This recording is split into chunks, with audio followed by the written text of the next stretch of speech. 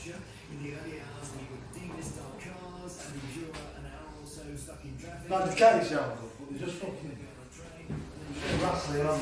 pack your lunch in the fridge, you pour yourself uh, hot coffee, you catch up on the weekend's and events with our colleagues around the water cooler. Well, not anymore. Official figures estimate over half of us now home working. That's huge. It affects everything, where we choose to live, how many cars we buy, how city centre